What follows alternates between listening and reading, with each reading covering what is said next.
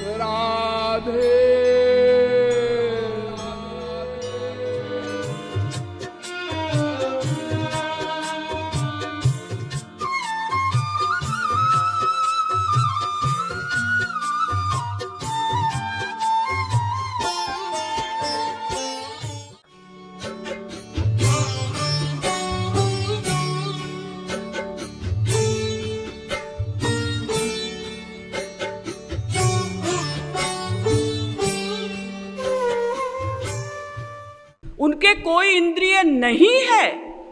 लेकिन फिर भी वो समस्त इंद्रियों के विषयों को ग्रहण करते हैं। ब्राह्मणों से मुखमासीत, बाहुराजन्य कृत, उरु तदस्य यद वैश्य पदभ्याग्वम शूद्रो अजायत। वेद कहता है, भगवान के मुख से ब्राह्मण उत्पन्न हुए, भुजाओं से क्षत्रिय,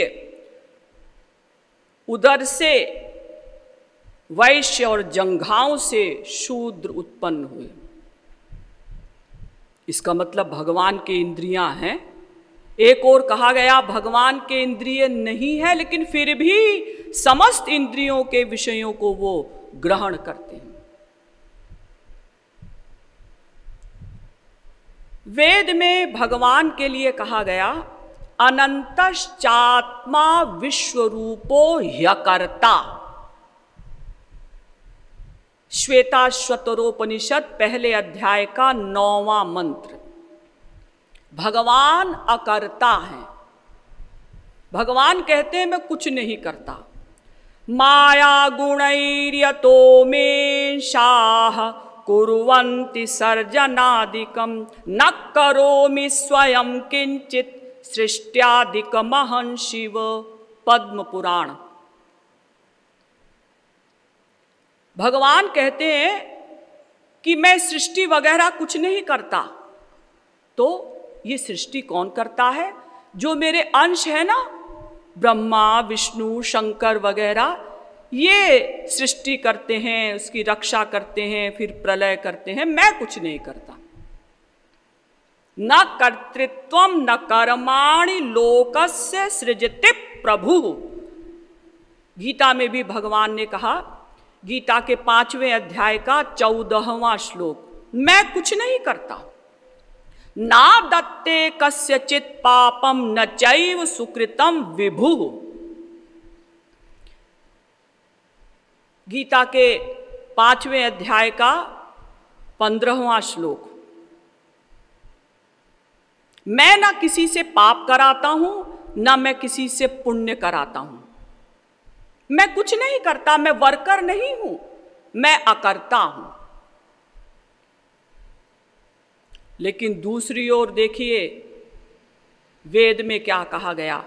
द्वे अक्षरे ब्रह्म परे त्वनन्ते विद्या विद्ये निहिते, यत्र गूढ़े क्षरम त्वविद्या ह्यमृतम तु विद्या विद्या विद्ये ईशते, यस्तु सोन्य श्वेता श्वतरोपनिषद पाँचवें अध्याय का पहला मंत्र। भगवान विद्या और अविद्या, इन दो नामों से कहे जाने वाले क्षर और अक्षर तत्व पर शासन करते हैं। यानी जीव और माया दोनों पर भगवान शासन करते हैं। पहले तो कहा, मैं अकर्ता हूँ, मैं कुछ नहीं करता। फिर कहा कि नहीं, जीव और माया इन दो तत्वों पर शासन करते हैं भगवान। भगवान जीव के भी अध्यक्ष, माया के भी अध्यक्ष। मायाम तो प्रकृतिम, विद्यान माइनम तु महेश्वरम। श्वेता श्वतरोपनिषद, चौथे अध्याय का दसवां मंत्र। माइनम तु महेश्वरम। भगवान माया के अध्यक्ष हैं। पारास शक्तिर्विविधैव श्रूयते, स्वाभाविकी ज्ञान बल क्रिया च। श्वेता श्वतरोपनिषद छठवें अध्याय का आठवां मंत्र। ये माया भगवान की स्वाभाविकी शक्ति है, भगवान इसके अध्यक्ष हैं। दैवी हेषा गुणमयी, मम माया दुरत्यया, मामेव ये प्रपद्यन्ते, माया में ते। गीता सातवें अध्याय का चौदहवा श्लोक। यानी ये माया भगवान की शक्ति है। सेयम भगवतो माया यन्न ये न विरुद्धते भागवत। तीसरे स्कंध के सातवें अध्याय का नौवा श्लोक। ये आपकी माया है, से यम भगवत माया आपकी माया है ये। तो भगवान कहते हैं कि माया मेरी शक्ति है और माया के द्वारा मैं सृष्टि करता हूँ। मायाध्यक्षेण प्रकृति ही सूयते सचराचरम। गीता नौवें अध्याय का दसवां श्लोक। देखिए, पहले कहा कि मैं अकर्ता हूँ, कुछ नहीं करता, सृष्टि इत्यादि भी नहीं करता। फिर कहा कि नहीं, भगवान शासन करते हैं जीव और माया इन दो तत्वों पर। फिर कहा कि माया चूँकि मेरी शक्ति है और माया के द्वारा मैं सृष्टि करता हूँ। फिर कहा नहीं, अहम सर्वस्व प्रभवो मत सर्वम प्रवर्तते। गीता के दसवें अध्याय का आठवां श्लोक। मैं सृष्टि करता हूँ। अभी तो कहा था कि माया के द्वारा सृष्टि होती है। अब कहते हैं, नहीं, मैं स्वयं सृष्टि करता हूँ। तस्माद वा ए तस्मादात्मन आकाश संभूत, आकाशाद वायु वायोरग्नि अग्नेराप अभ्य पृथिवी, पृथिव्यामौषधय, औषधीभ्योन्नम, अन्नात् पुरुष, स वा एष पुरुषोन्नरसमय। तैत्तिरियोपनिषद दूसरी वल्ली का पहला अनुवाक। भगवान ने ये संसार बनाया। देखिए कितनी विरोधी बातें एक साथ बताई गई।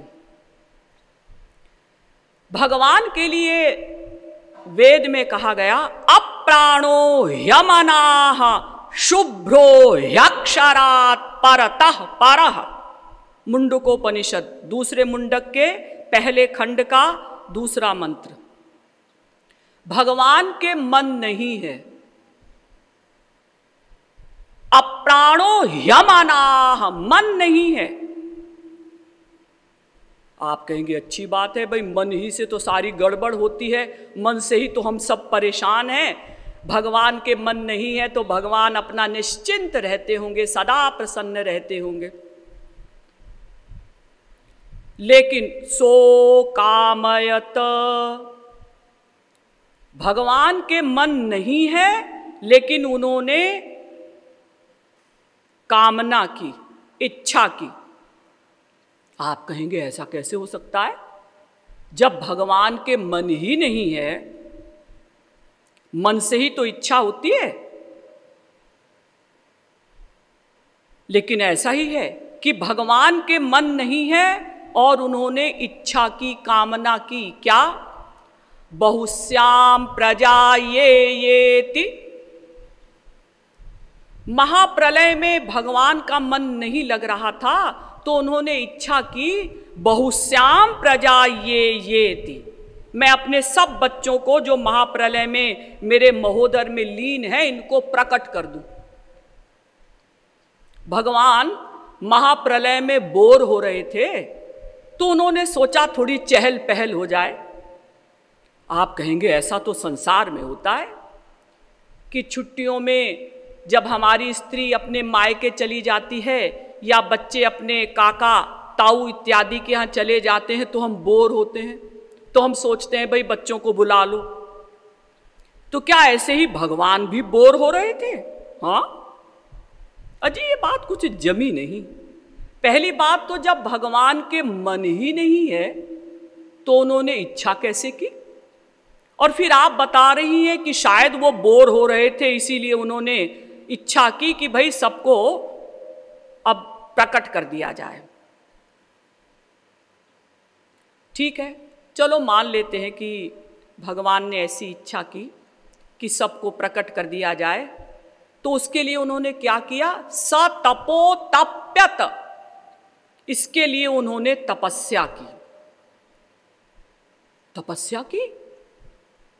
इसका मतलब भगवान में कोई कमी रही होगी? तो एक पैर पर खड़े होकर तपस्या करने गए होंगे।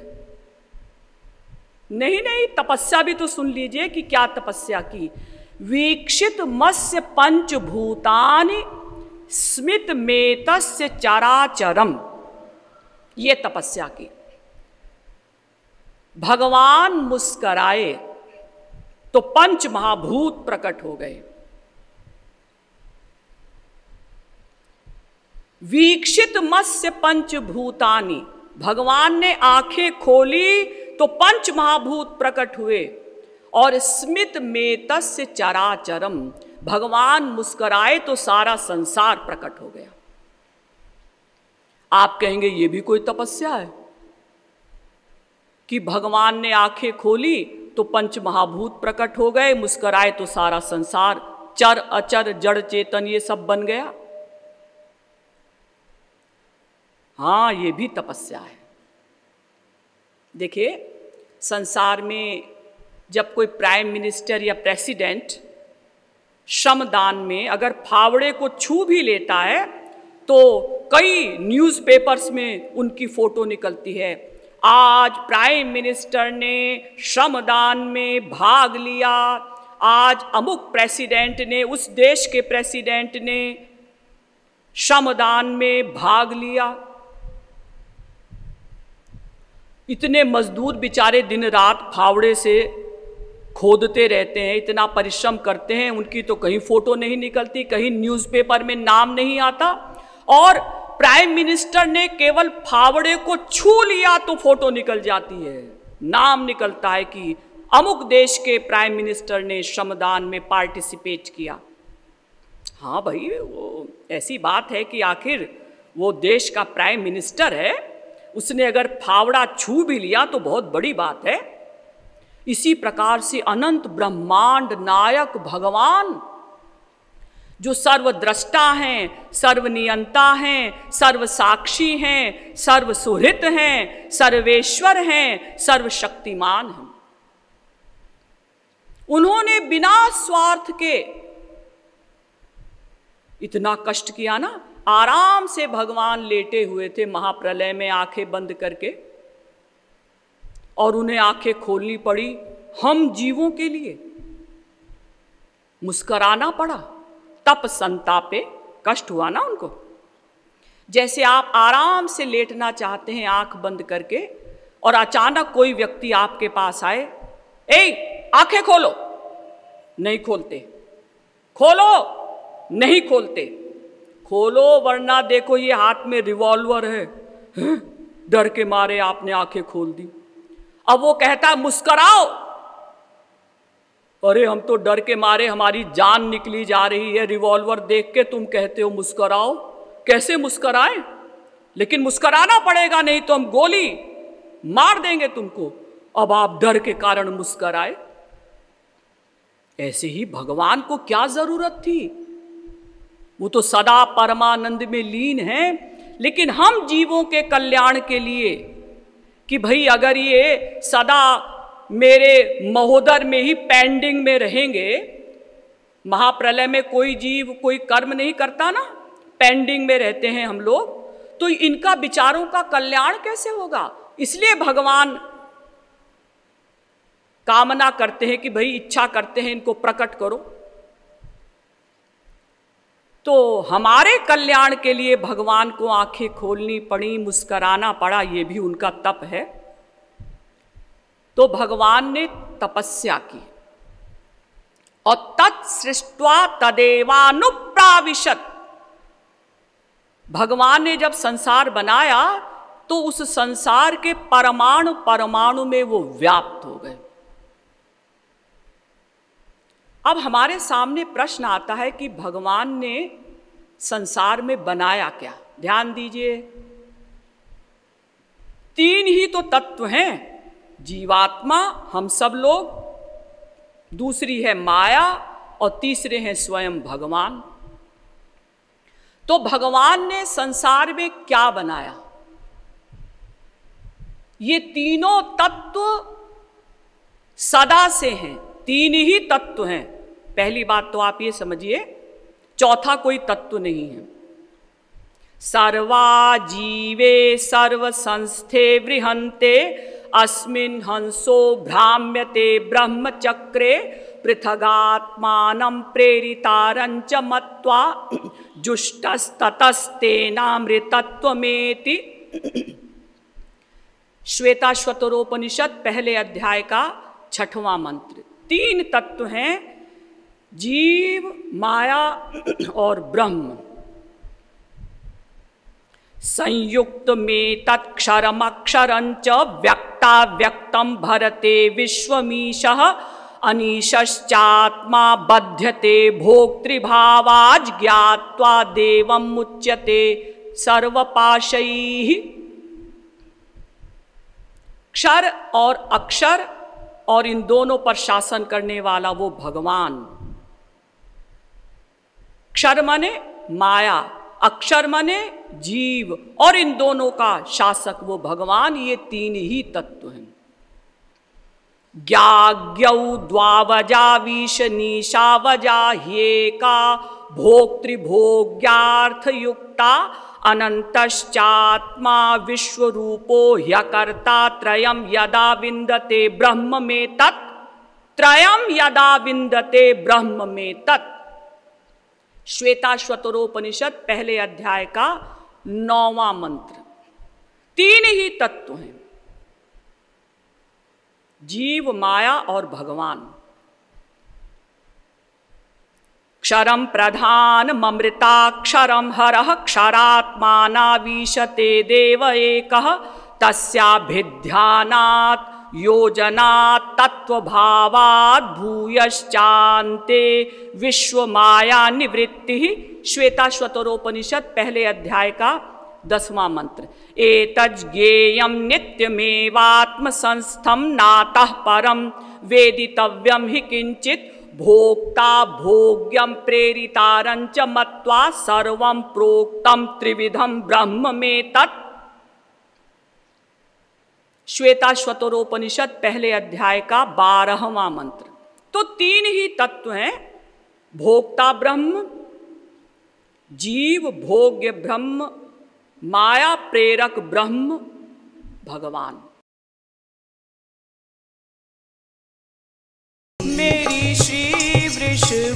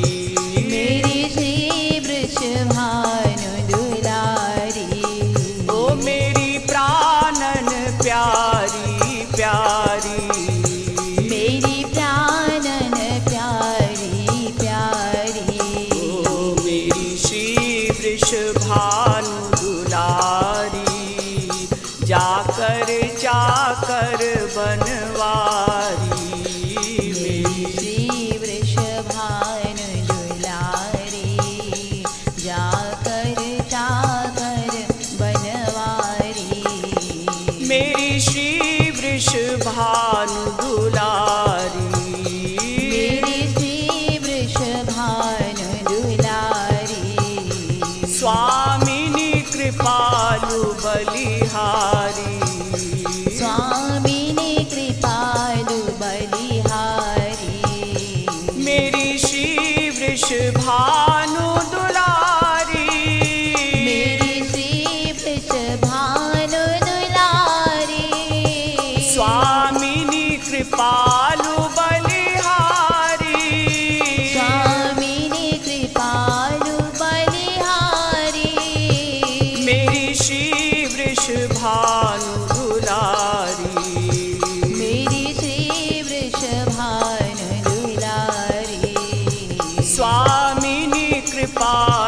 कृपालु बलिहारी